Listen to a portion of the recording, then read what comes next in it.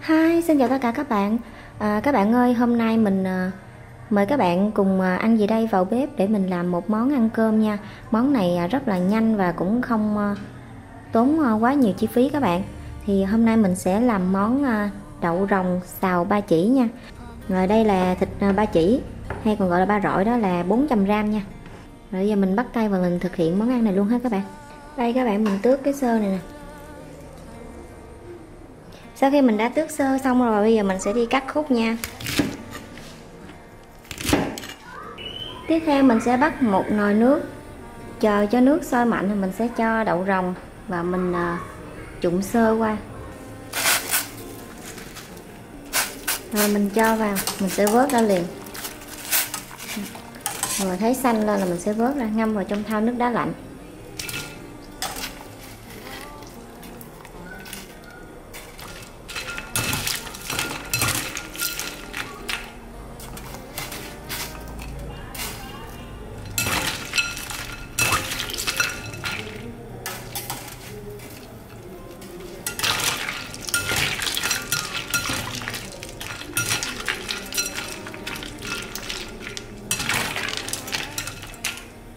Rồi tiếp theo mình chuẩn bị một nồi nước khác mình cho vào đây. Một chút xíu muối.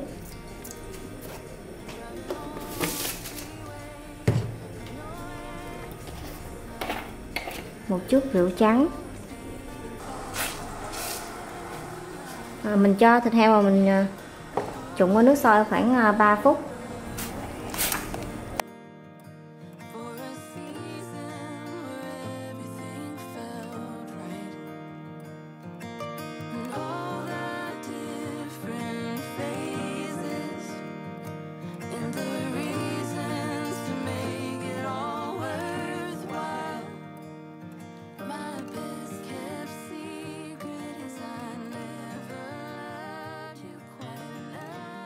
Và tiếp theo mình sẽ cho dầu vào đây để mình phi tỏi hành.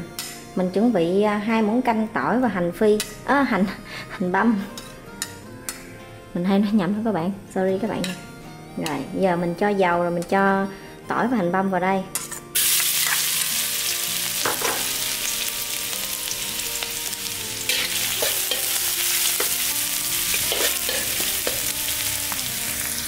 Tỏi và hành đã thơm và vàng bây giờ mình cho vào đây một muỗng cà phê vung, bột cà ri.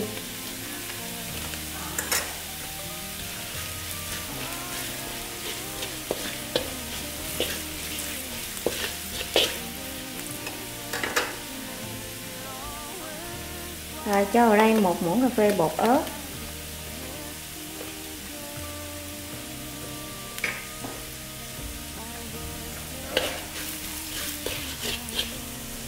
Để mức lửa trung bình bây giờ mình sẽ cho thịt ba chỉ vào.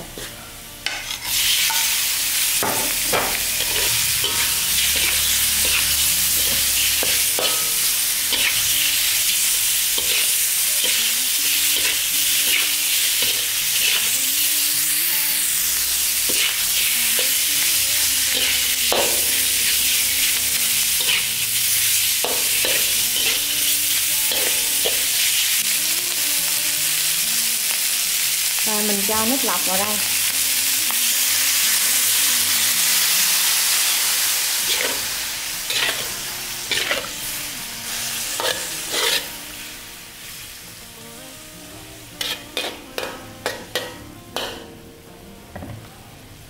Chờ cho thịt chín và mềm. Các bạn à, thấy không? Mình cho nước vào, nó vừa xăm sắc mặt thịt thế này. Bây giờ mình nêm nếm gia vị. Giờ mình sẽ cho vào đây, nửa muỗng canh đường.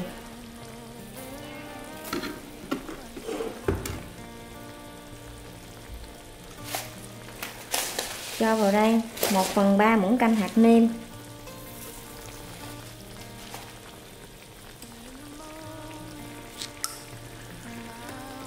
Rồi mình cho nước mắm ngon vào đây.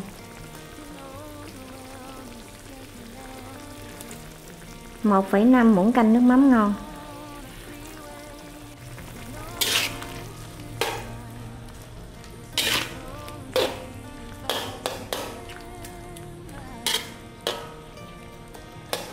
Các bạn à, nêm nếm sao cho phù hợp với khẩu với gia đình các bạn là được nha.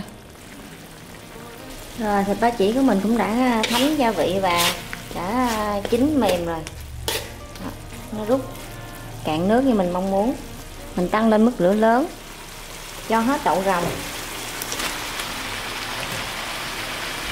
Rồi bây giờ các bạn sẽ đảo 30 giây rồi mình tắt bếp nha mình sẽ không đảo quá lâu. Vì đậu rồng mình cũng đã trụng sơ qua rồi và đậu rồng mình có thể ăn sống nữa. Đó, các bạn thấy không? Nước nó rút vừa luôn. Đó cạn nước luôn.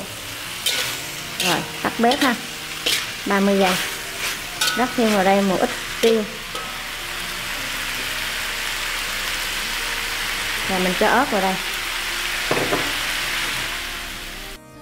rồi các bạn ơi đây là thành phẩm của mình. Như vậy là mình đã hoàn thành xong món à, đậu rồng xào ba chỉ thật là ngon và đẹp mắt thế này. Phù hợp để mình ăn với cơm nha. Rất là bắt cơm luôn. Và đậu rồng vẫn giữ được cái độ ờ, giòn. Rất là ngon. Cũng như là thịt ba chỉ thì mềm thấm gia vị. Và hoàn toàn là món này là không bị ngấy gì hết rồi nếu như các bạn cảm thấy yêu thích món ăn của mình ngày hôm nay thì đừng quên cho mình một like và đăng ký kênh ủng hộ cho mình, cũng như là chia sẻ cho thật nhiều bạn bè hơn nữa để biết thêm một món ăn vừa ngon, vừa đơn giản cũng như là gần gũi, dân dã như thế này nha. Rồi à, hẹn gặp lại các bạn vào những món ăn ngon tiếp theo. Bye bye! Rồi, mình mời các bạn cùng mình à, ăn thử món à, đậu rồng xào ba chỉ này nha. Uhm đậu rồng chín thấm gia vị nhưng mà vẫn giữ được cái độ giòn xanh. Màu xanh rất là đẹp luôn.